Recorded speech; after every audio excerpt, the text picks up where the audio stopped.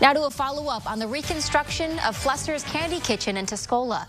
Demolition of the building's second story is now underway, and you may need to change up your travel route if you plan to visit. The intersection of Sale and Main Streets has been partially blocked while crews work.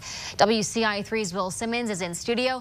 So, Will, how long will this construction last? Karina, owners say they expect renovations to take about a month, and the restaurant will be serving customers the whole way through.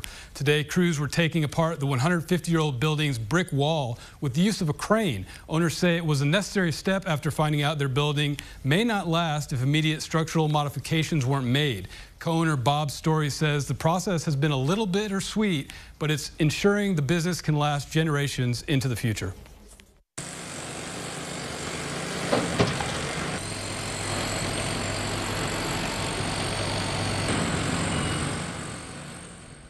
Owners say crews are replacing rotted wood and replacing them with steel beams.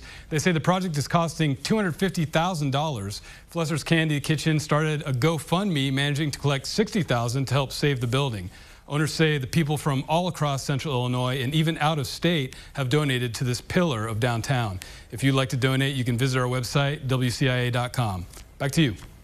All right, well, thanks.